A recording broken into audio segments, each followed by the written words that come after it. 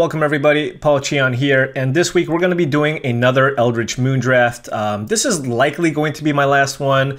I know people get kind of sick of the draft format. Uh, after a few weeks, everybody kind of understands what's good and what's bad, but you know, I am preparing for Grand Prix Louisville, and uh, sorry, Louisville, and uh, I want to hop straight in and get as much practice as I can with this format. And, um, you know, not bad. not a bad place to start. Um, Liliana is one of the best rares in the set. Also, I actually haven't, uh, because I've been focusing so much on limited, I haven't built uh, to the Liliana decks yet. I only own one, I think. I might actually own zero. I think I sold my actual Liliana, but anyways, this card is ridiculous. This card is very powerful. Take it and profit. Literally, profit. You can sell this for like 40 tickets. Anyways, Liliana is great. Uh, other cards to consider in this pack are Somberwald Stag, and actually, that's probably the card that I would have taken. Um, had the stag not been there, you know, we have honorable mentions. Uh, if the stag was not there, then you have the choice between Dragonder, Dragoon, and Outcast, and even Geists. But I likely, I prefer taking the one color card, so I would probably take one of those three cards and probably the Outcast because I uh, prefer red, but I can see a case being made for either of the other two commons as well. But we're gonna take Liliana and be happy and um, okay and then take a murder. Man drafting is really hard.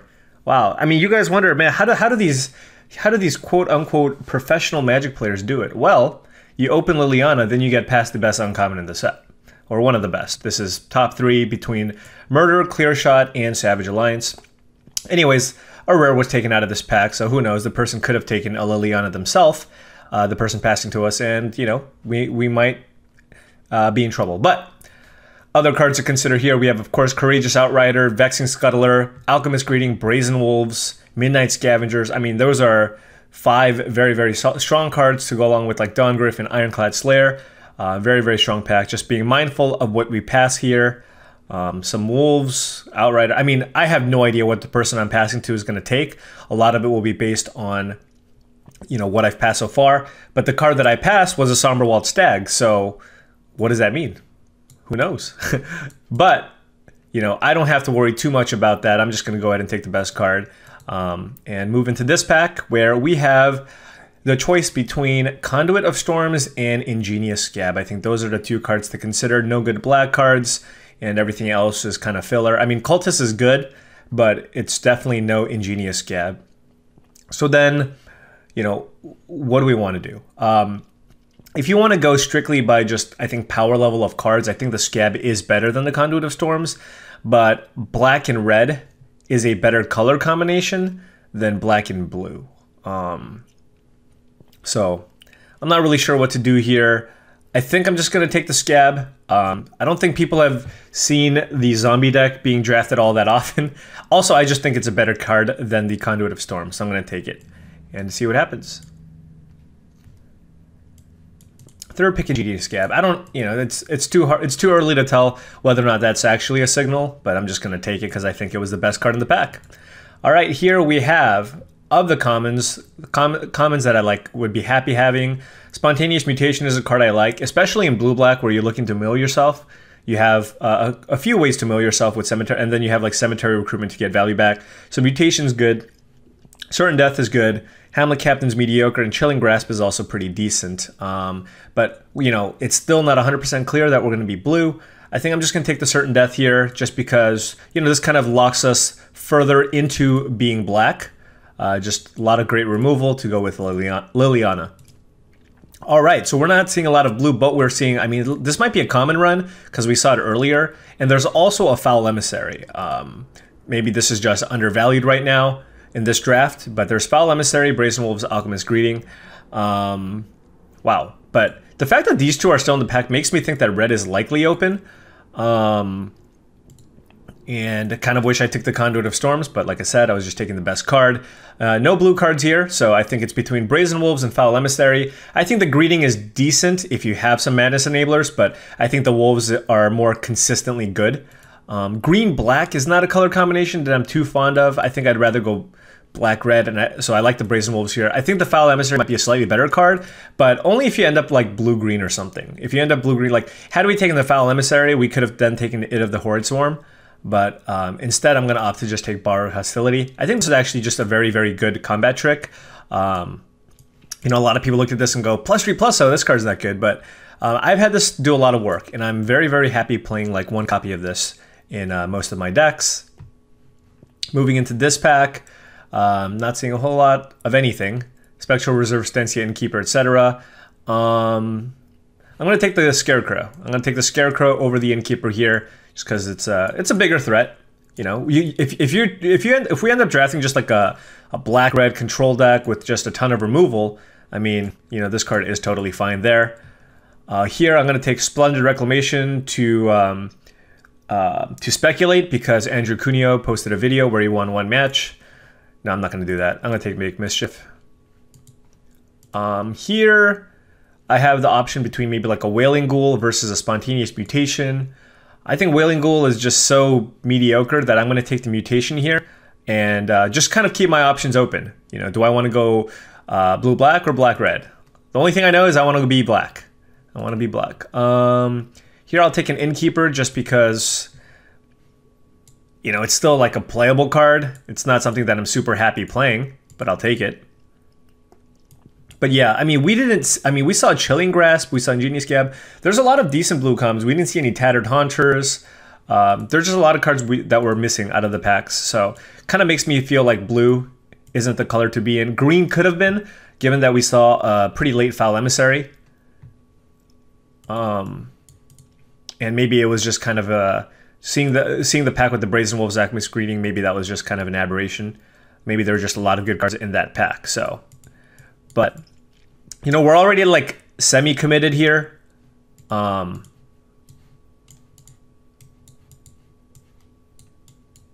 don't really have any discard outlets here outside of this.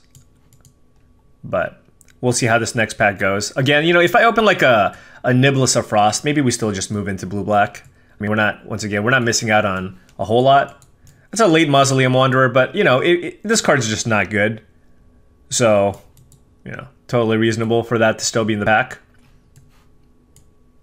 I don't know why my Innkeeper's there. It's really funny how similar this draft is going to the first draft that I did uh, when I was recording for the website, where I opened Liliana and then I had just have a bunch of mediocre black and red creatures. this is kind of going down that same path.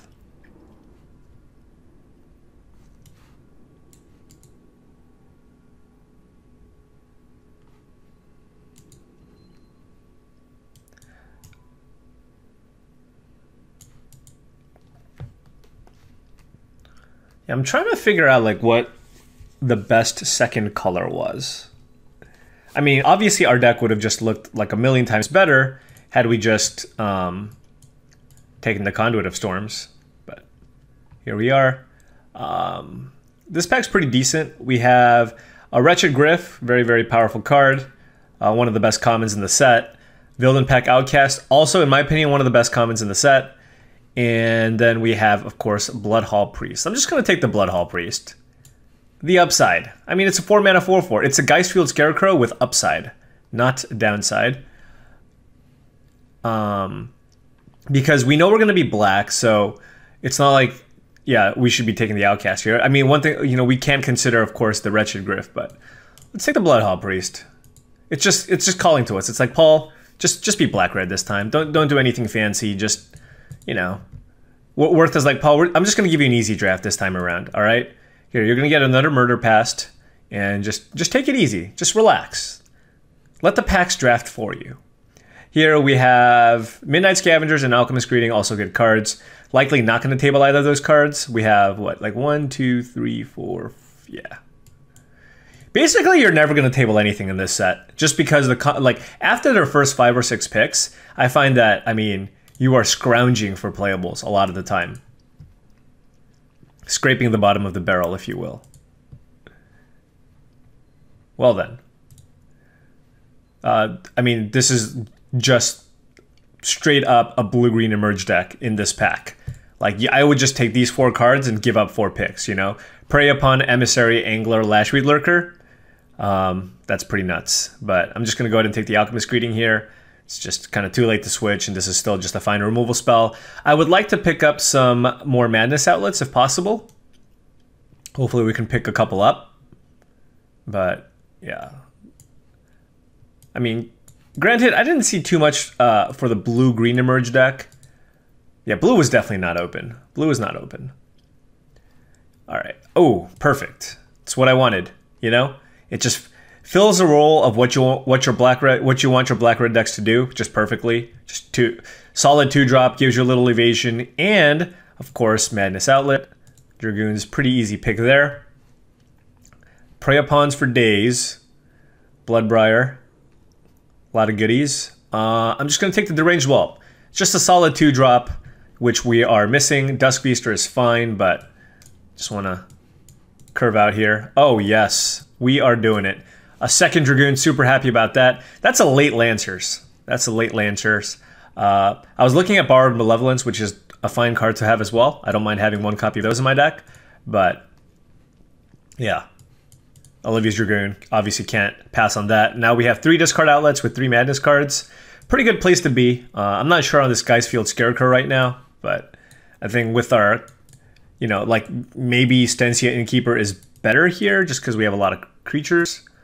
I don't know. But like the thing is, if your curve kind of tops out at four mana, if your curve tops out at four mana, then it's it's fine. It's not. You know, the, the, the problem is when you have like a like I don't like Geist-Fueled Scarecrow and like red green decks where you just have like several fives as well. You're gonna have Vildin-Pack Outcast and and um, you know potentially just bigger bigger things on top of that. But here it might be okay.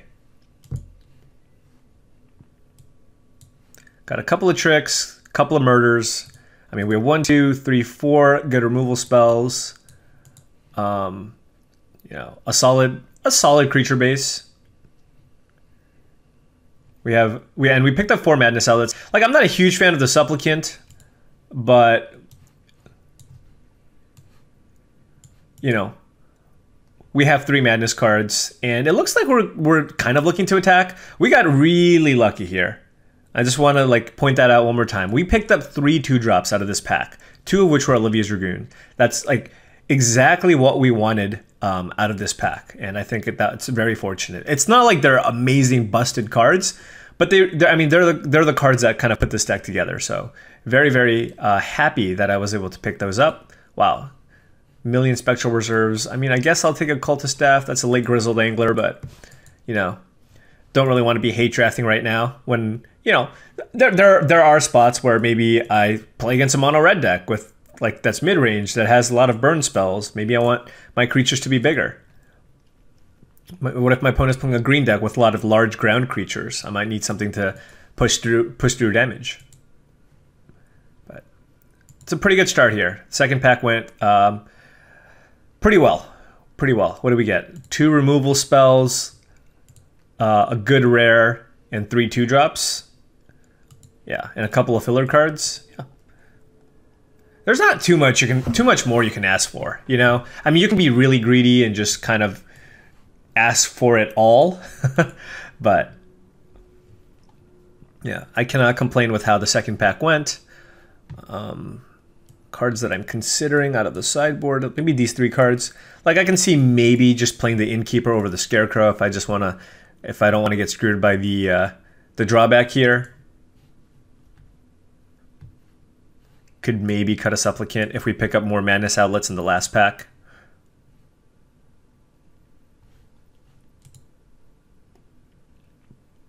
So what do I want in this last pack? Ah, good cards. I kind of like the one-one split on the the borrowed cards. Keeps your opponents on their toes. So Nearheath Chaplain, Thraben Gargoyle, Spy for Motives, all good cards. Um, Deadweight, Scrutiny, re, uh, Reduce to Ashes. I mean, here we're just going to take Deadweight. Just cheap, efficient removal. Ooh, that's a pacifist. I don't think I'm going to be playing Triskaidekaphobia. I mean, we have some ways to like mold my opponent's life totals. Triskaidekaphobia is um, a combo with Tree of Perdition. That's kind of sweet. But here, I mean, we're probably going to be looking to attack. So I'm just going to take the Howlpack Wolf, just 3 mana, 3 3. Just good, efficient body. Very bad at blocking, but very good at attacking. Don't have that many threes right now. And I can definitely, I mean, this, I can definitely see this deck just being kind of aggressive. Just, you know, it's a nice large body. You just play your three drops, kill something, and then just humph.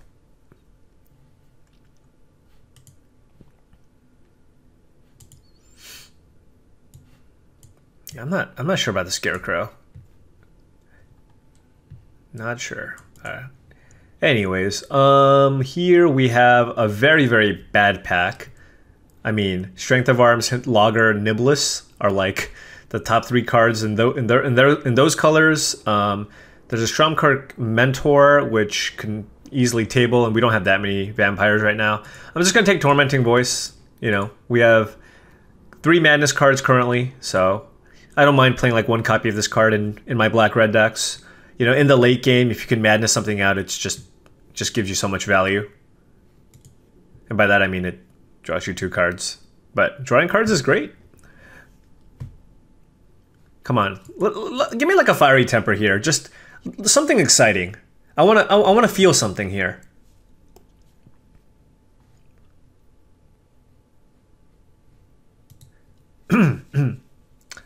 all I feel is massive, massive disappointment. That that's that's all I'm feeling right now.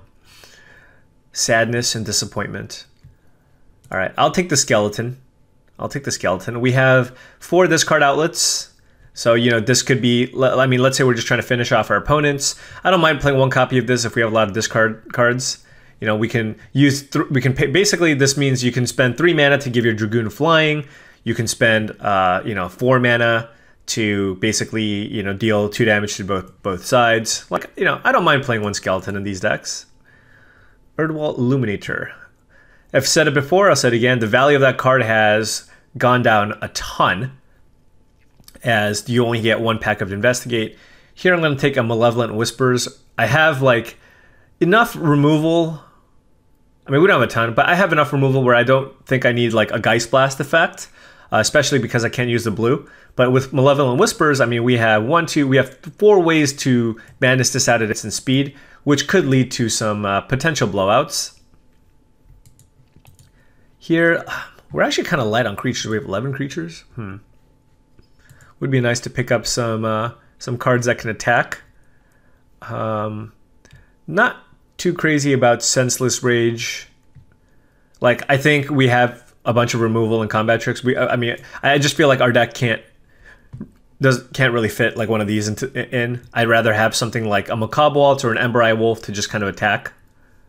Um, I mean, with a bunch of removal, the Ember Eye Wolf can, kind of gets in there, and it's just an additional two drop. Um, Macabre Waltz is also pretty decent, although we don't have like a lot of great creatures to get back. Hmm.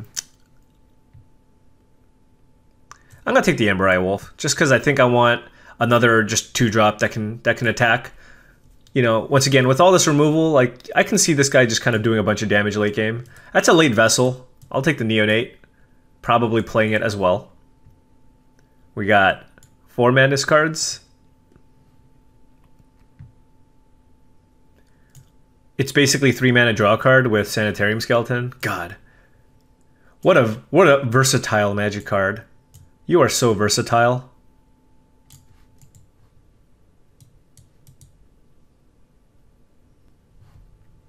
What? like this pack has been mostly just like super disappointing and then we table and then we get a call the bloodline eighth pick in our in the last in the final hour, we pick up one of the best cards in the vampires archetype, Lucky Cheon.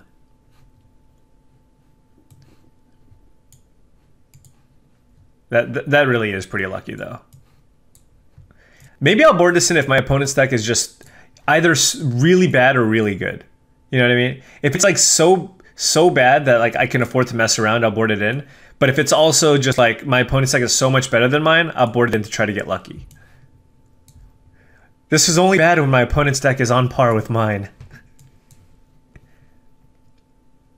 How many vampires do we have for this? One, two, three, four, five, six? Probably not playing it.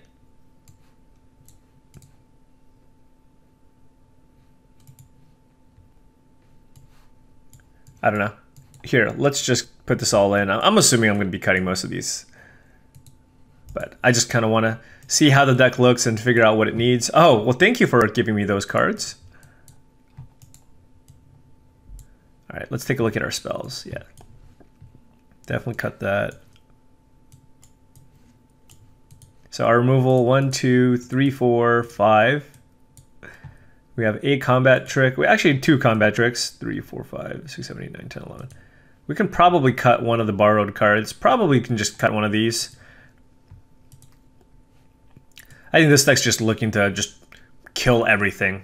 Kill all of the creatures.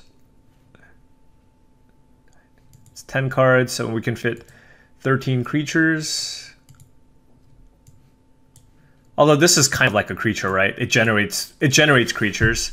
It's great with Sanitarium Skeleton and our Madness cards. We which we have what one, two, three, four, four Madness cards. Yeah, Ember Eye Wolf or Macabre I'm not sure. not sure on that one, but um, but yeah, I think this is our deck. Yeah, if you look, I mean, this is the the top end of our mana curve, so it's actually fine here. Let's let's put this here. Just makes me feel better. Just makes me feel better about myself. It helps me go to sleep. It's a 3 mana 3-3. Wow, that's so good. Alright, um... Don't really want to be playing runaway carriages or anything like that. Do we want any of these other cards? One, two, five, six... Yeah, I don't think we need to make mischief. We have like Liliana to kill small creatures along with Deadweight and Borrowed Malevolence. We can board it in in matchups where we feel like we need it. I don't think I want another combat trick or a way to pump my creatures really. So then it's a question of like, do I want either of these cards? Um, and no, I don't think so. I think I'd rather just have all these other cards. Let me think with the Neonate. I mean, we have one, two, three, four. Right? That's probably good enough. Yeah, I mean it's between like neonate and um, one of the other like random creatures, but I think we have. Yeah, once again, we have the four madness cards, and uh, it also is fine with this card. So with with the with these five cards, it's it's probably good enough to play. And we have what one, two, three, four, five, six madness outlets. Kind of kind of wish we picked up a few more madness cards, but this is like a two drop. Look at this, man! Our mana curve is great. Also, we can like it, it's something you know early you can use to get back get the get back with the Liliana. Although that's not really a great argument actually. Hmm. Yeah, I'll run this. Um, I, I am a little bit concerned like maybe we just don't have enough like big things to attack with. I kind of wish we had like a Vildin-Pack Outcast, you know. Well, having another random 4 mana 3 3 help me though? Is that where I want to be? Because like my deck is just like all three threes and like one power creatures. So, you know, do, do I have any interest in just like another big, another four drop basically? Yeah, maybe I just cut the Ember Eye Wolf for like a random 4 drop. Um, this is more upside. I can put it on like a Dragoon. Alright. Combine groups. Look at that. 10 seconds. No big deal. Boom. Easy game.